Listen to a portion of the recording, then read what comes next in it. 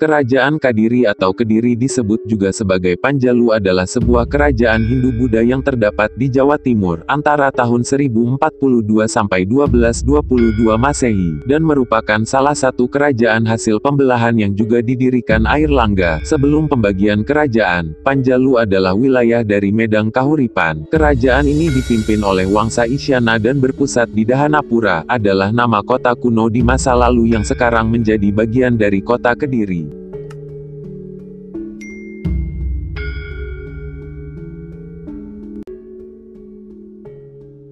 Sesungguhnya kota Daha sudah ada sebelum peristiwa pembelahan kerajaan oleh Air Langga. Daha merupakan singkatan dari Dahanapura, yang berarti kota api. Nama ini terdapat dalam prasasti pamuatan yang dikeluarkan Air Langga tahun 1042.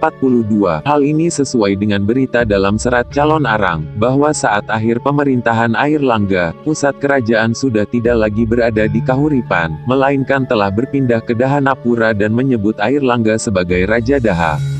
Pada mulanya, nama Panjalu pembacaan yang tepat sesuai aksara adalah Panjalu memang lebih sering dipakai daripada nama Kadiri. Hal ini dapat dijumpai dalam prasasti-prasasti yang diterbitkan oleh Raja-Raja Panjalu. Bahkan, nama Panjalu juga dikenal sebagai Pucialung di dalam kronik Tiongkok yang berjudul Ling Wai Taita tahun 1178 Masehi. Terdapat tiga jenis tanah yang akan digunakan oleh masyarakat di masa lalu saat akan membangun sebuah tempat atau pemukiman. Pertama adalah tanah anupa sebagai tanah subur serta dekat dengan sumber mata air. Berbagai macam biji-bijian jika ditanam akan tumbuh dengan baik. Kedua adalah tanah sadarana, tanah yang di sebagian wilayahnya subur dan sebagian yang lainnya kurang subur. Selanjutnya yang ketiga adalah janggala yang merupakan tanah yang kurang subur atau hutan belantara. Pangjalu berasal dari kata jalu yang memiliki arti jantan atau pria. Selanjutnya diberi unsur kata pang yang adalah pe, merupakan tambahan sehingga menjadi kalimat pejantan dalam konteks kewilayahan istilah pejantan tersebut bermakna wilayah yang subur serta berdikari atau mandiri. Istilah kadiri merupakan sinonim kata atau persamaan dari pangjalu yang bermakna kemandirian. Kasus tersebut mirip dengan nama Majapahit dengan Wilwa Tikta, di mana Wilwa adalah buah maja dan Tikta adalah pahit.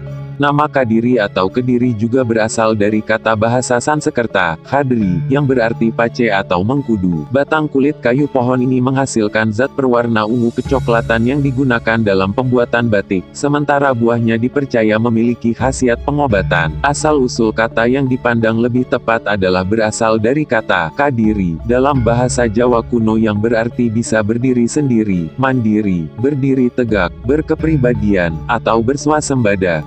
Raja Kerajaan Medang yang terakhir bernama Dharma Wangsa Teguh, saingan berat kedatuan Sriwijaya, pada tahun 1016 Masehi. Raja Wurawari seorang raja bawahan dari Elwaram sekitar Cepu, Blora, bersekutu dengan Sriwijaya, menyerang Istana Watan, ibu kota Kerajaan Medang, yang tengah mengadakan sebuah pesta pernikahan antara putri dari Raja Dharma Wangsa Teguh dengan Air Langga. Dharma Wangsa Teguh sendiri tewas dalam serangan tersebut sedangkan keponakannya yang bernama Air Langga Angga bersama dengan Putri Dharma Wangsa berhasil lolos ditemani pembantunya Empu Narotama. Air Langga adalah putra pasangan Mahendra Datta, saudari Dharma Wangsa Teguh, dengan Udayana Raja dari Kerajaan Bedahulu Bali. Ia lolos bersama Putri Dharma Wangsa dengan ditemani pembantunya yang bernama Empu Narotama. Sejak saat itu Air Langga menjalani kehidupan sebagai pertapa di hutan pegunungan Vanagiri sekarang Wonogiri, selanjutnya menuju Sendang Made, Kudu, Jombang. Pada saat pelarian dan dalam masa persembunyiannya dengan kalangan pertapa, setelah melewati tiga tahun hidup di dalam hutan pada tahun 1019,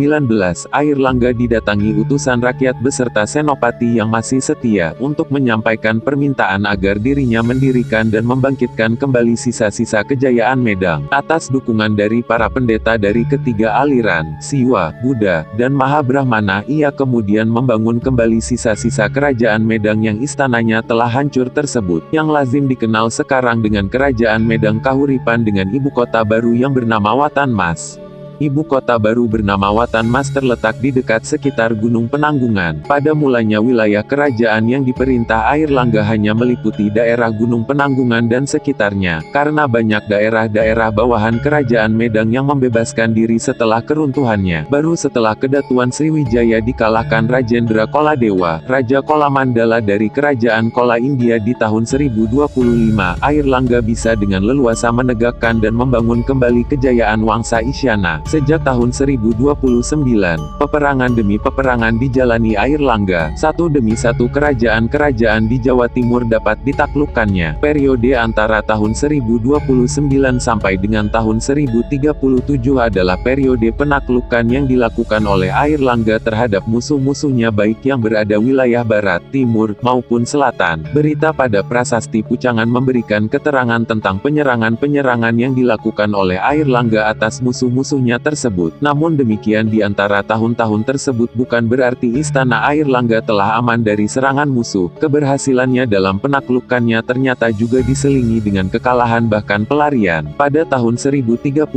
atau 953 Saka, Air Langga kehilangan kota Watan Mas karena diserang oleh Raja Wanita yang kuat bagai raksasa. Raja Wanita itu adalah Ratu Diatu Lodong, yang merupakan salah satu raja kerajaan Lodoyong, sekarang wilayah Tulungagung, Jawa Timur, dia Tulodong digambarkan sebagai ratu yang memiliki kekuatan luar biasa. Salah satu peristiwa sejarah penting adalah pertempuran antara bala tentara air langga yang berhasil dikalahkan oleh dia Tulodong. Pertempuran tersebut terjadi lantaran dia Tulodong berusaha membendung ekspansi air langga yang waktu itu sudah menguasai wilayah-wilayah di sekitar kerajaan Lodoyong. Bahkan di beberapa riwayat, diceritakan pasukan khusus yang dibawa Ratu Dia Tulodong merupakan prajurit-prajurit wanita pilihan. Pasukan ini bahkan berhasil memukul mundur pasukan air langga dari pusat kota kerajaannya, Watan Mas, di dekat Gunung Penanggungan hingga harus pergi ke Patakan, Sambeng Lamongan, Jawa Timur. Tapi satu tahun kemudian di penghujung tahun 1032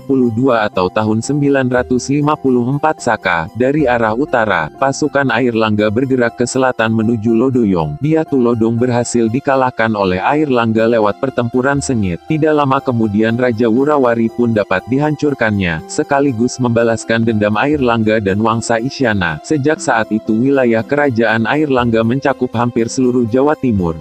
Tahun 1032, menurut prasasti Terep, Air Langga kemudian membangun ibu kota baru bernama Kahuripan yang berpusat di daerah Kabupaten Sidoarjo sekarang. Di tahun 1037, dikeluarkan prasasti Kusambian memuat informasi mengenai Keraton Madander yang diperkirakan sebagai lokasi dari Istana Air Langga yang terletak di sekitar Kabupaten Jombang. Pada tahun 1042, berdasarkan prasasti Pamuatan dan Serat Calon Arang, di akhir masa pemerintahannya, Air Langga kemudian memindahkan ibu kotanya ke Daha, kota Kediri. Menurut prasasti Turun Hyang, 1044 Masehi, pada akhir pemerintahannya tahun 1042, Air Langga berhadapan dengan masalah persaingan perebutan takhta antara kedua putranya, raja yang sebenarnya adalah Putri Air Langga. Nama asli putri tersebut dalam prasasti Cane, 1021 Masehi, sampai prasasti Pasar Legi, 1043 Masehi, adalah Sanggama Wijaya Tunggadewi, yang menjadi putri mahkota sekaligus pewaris takhta istana istana Medang Kahuripan, namun ia memilih untuk mengundurkan diri dan menjalani kehidupan suci sebagai pertapa biksuni, pendeta Buddha, dengan bergelar Dewi Kili Suci. Kemudian di tahun yang sama, berdasarkan prasasti Pamuatan, 1042 Masehi, dan serat calon Arang, Air Langga memindahkan ibu kotanya dan mendirikan kota Dahanapura, di wilayah Panjalu atau Kadiri. Menurut kitab Nagara Kretagama, Air Langga sudah berpindah dan memerintah dari Daha wilayah Panjalu atau atau Kadiri. Menurut serat calon Arang, Air Langga kemudian bingung memilih penggantinya mengingat dirinya juga putra dari Raja Bali, maka ia pun berniat menempatkan salah satu putranya di pulau itu. Gurunya yang bernama Empu Barada berangkat ke Bali untuk mengajukan niat tersebut namun mengalami kegagalan. Fakta sejarah menunjukkan Udayana digantikan putra keduanya yang bernama Marakata Pangkaja sebagai Raja Bali, dan Marakata selanjutnya digantikan adiknya yaitu anak Wungsu. Sebelum turun tahta, pada akhir November November 1042 atas saran penasihat kerajaan sekaligus gurunya Empu Barada, Air Langga terpaksa membagi kerajaannya menjadi dua. Bagian barat yaitu wilayah Panjalu beribu kota di Daha diberikan kepada Sri Samarawijaya, kemudian wilayah bagian timur yaitu Janggala beribu kota di Kahuripan diberikan kepada Mapanji Garasakan. Setelah turun takhta, Air Langga menjalani hidup sebagai pertapa sampai meninggal sekitar tahun 1049. Menurut serat calon arang ia kemudian bergelar Resi Erlangga Jatiningrat, sedangkan menurut babat Tanah Jawi ia bergelar Resi Gentayu. Namun yang paling dapat dipercaya adalah Prasasti Gandakuti, 1042, yang menyebut gelar kependetaan Air Langga adalah Resi Aji Paduka Empungku Sang Pinaka Catraning Buana. Menurut Prasasti Pasar Legi, 1043 Masehi, baik Air Langga maupun Sanggramawijaya Tunggadewi masih aktif menjalankan pemerintahan, mengikuti penyebutan gelar kependetaan Air Langga yaitu Resi Aji yang juga berarti sebagai Raja Pendeta. Hal ini dapat ditafsirkan bahwa Air Langga dan putrinya masih memegang kekuasaan tertinggi sekalipun hidupnya sudah terbagi dengan kegiatan non-duniawi. Masa-masa awal kerajaan Kadiri setelah peristiwa pembelahan tidak banyak diketahui. Prasasti Turun Hyang, 1044 Masehi, yang diterbitkan kerajaan Janggala hanya memberitakan adanya perang saudara antara kedua kerajaan sepeninggal Raja Air Langga. Sejarah kerajaan Kadiri mulai diketahui dengan adanya Prasasti Mataji dan Prasasti Banjaran. Setelah Raja Sri Jitendrakara diketahui terdapat raja bernama Sri Bemswara berdasarkan Prasasti Karanggayam. Selanjutnya dalam dalam prasasti Hantang Raja yang memerintah sudah berganti Sri Jayabaya. Panjalu di bawah pemerintahan Sri Jayabaya berhasil menaklukkan kerajaan Janggala dengan semboyannya yang terkenal di dalam prasasti Ngantang, 1135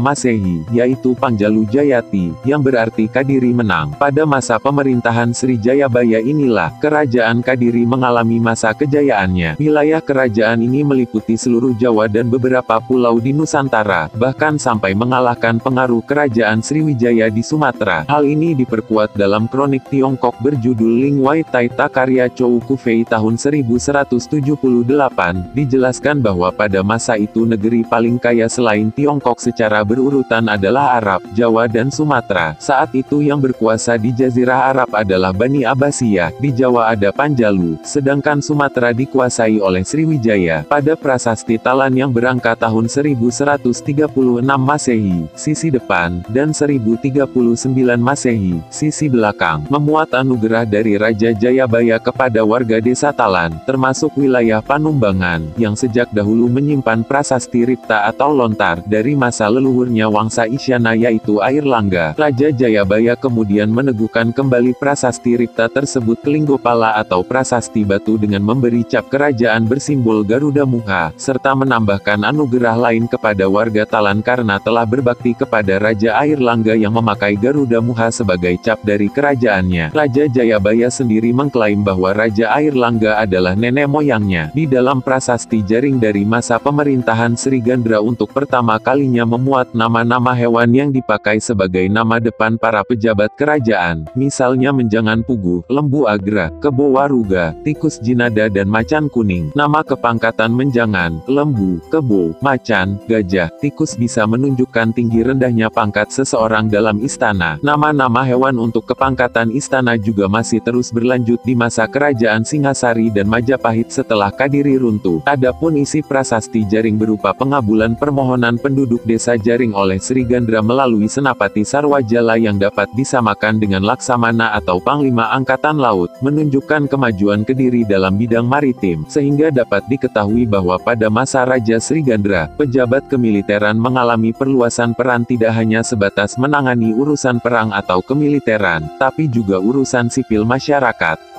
Pada masa pemerintahan Sri Kameswara seorang pujangga bernama Empu Darmaja menciptakan mahakarya Kakawin Smaradahana atau Asmaradahana yang didedikasikan untuk Sri Kameswara dan permaisurinya Sri Kirana Ratu, putri dari kerajaan Janggala. Kakawin Smaradahana juga mengisahkan terbakarnya Dewa Kamajaya dan Dewi Rati, menjelang kelahiran Ganesha. Pasangan Dewa-Dewi tersebut kemudian menitis dalam diri Sri Kameswara dan permaisurinya yang bernama Sri Kirana, dan dianggap merupakan merupakan inspirasi awal yang memunculkan cerita Panji, kisah cinta yang terinspirasi dari Raja Kameswara dengan Sri Kirana. Cerita Panji terfokus pada petualangan romantika tokoh Panji dalam menemukan kekasih hatinya yaitu Chandra Kirana. Cerita Panji mengalami perkembangan pesat dan tersebar luas pada zaman Majapahit. Cerita Panji menggambarkan kisah percintaan dan peperangan dari dua kerajaan, yaitu Jenggala dan Panjalu. Cerita Panji dengan tokoh sentral Inu Kertapati dan Galuh Chandra Kirana memiliki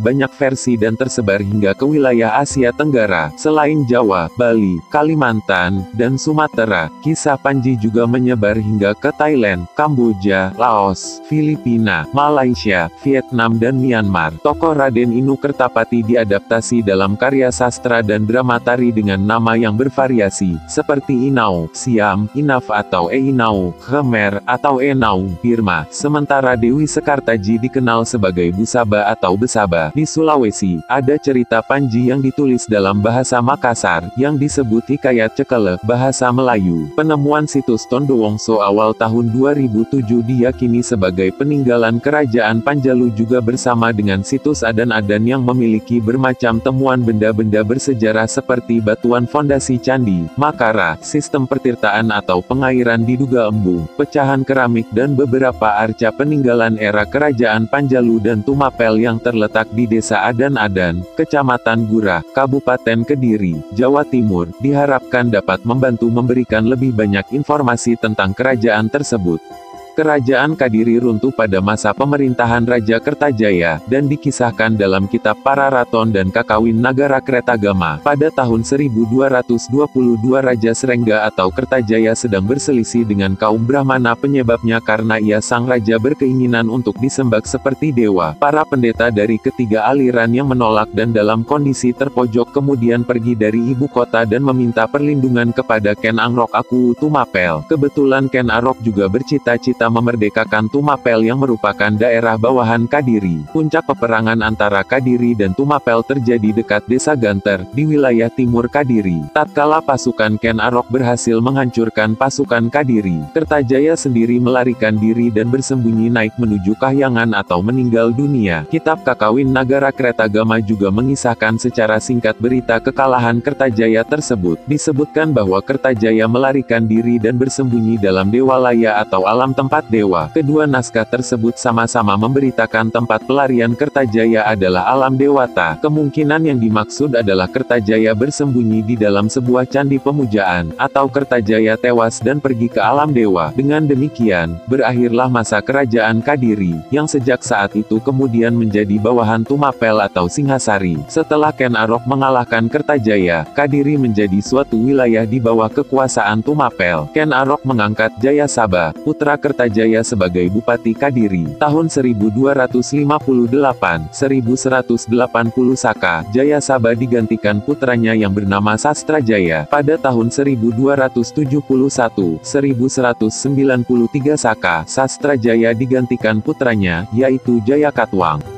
Pada tahun 1292, Raja Bawahan sekaligus besan dari Raja yaitu Jaya Katwang memberontak terhadap Singhasari yang dipimpin oleh Raja Kertanagara, karena dendam masa lalu di mana leluhurnya Kertajaya dikalahkan oleh Ken Arok. Setelah berhasil membunuh Kertanagara, Jaya Katwang membangun kembali kerajaan leluhurnya Kadiri, namun hanya bertahan selama satu tahun dikarenakan serangan gabungan yang dilancarkan oleh pasukan Kekaisaran Mongol dan pasukan menantu Kertanagara, Raden Raden Wijaya pendiri Majapahit, situs budaya Kadiri, Candi, Candi Penataran, Candi termegah dan terluas di Jawa Timur ini terletak di lereng barat daya Gunung Kelut, di sebelah utara Blitar, diperkirakan dibangun pada masa Raja Srengga dari Kerajaan Kadiri. Karya sastra, Kakawin Baratayuda ditulis oleh Empu Sedah dan diselesaikan oleh Empu Panulu. Kakawin Lubdaka dan Kakawin Ureta Sancaya adalah karya Empu Tanakung. Kakawin Hariwangsa, Kakawin Bumakawya dan Kakawin Gatot Kacasra Raya ditulis oleh Empu Panulu, Kakawin Semaradahana ditulis oleh Empu Darmaja, Kakawin Sumana Santaka ditulis oleh Empu Monaguna, Kakawin Kresnayana ditulis oleh Empu Triguna, Prasasti, Prasasti Pucangan, 1041, Prasasti Lawan Sambeng Lamongan, Prasasti Pasar Legi, 1043 Masehi, Nimbang Lamongan, Prasasti Mataji, 1051, Prasasti Panlegani, 1117, Prasasti Panumbangan, Prasasti Prasasti Geneng 1128, Prasasti Tangkilan 1130, Prasasti Besole 1132, Prasasti Pagiliran 1134, Prasasti Bemsuara 1135, Prasasti Karanggayam, Prasasti Hantang 1135, Prasasti Jepun 1144, Prasasti Talan 1136, Prasasti Kahyunan, Prasasti Padlegan II 1159, Prasasti Waleri, Prasasti Angin 1171, Prasasti Jaring, Prasasti Semanding 1182, Prasasti Ceker 1185, Prasasti Sapu Angin 1190, Prasasti Galunggung 1194, Prasasti Kamulan 1194, Prasasti Pala 1197, Prasasti Biri 1202, Prasasti Lawadan 1205. Situs Gua Selomangleng terletak di Mojoroto Kediri. Demikian kisah sejarah kerajaan Kediri lengkap. Semoga bermanfaat. Terima kasih.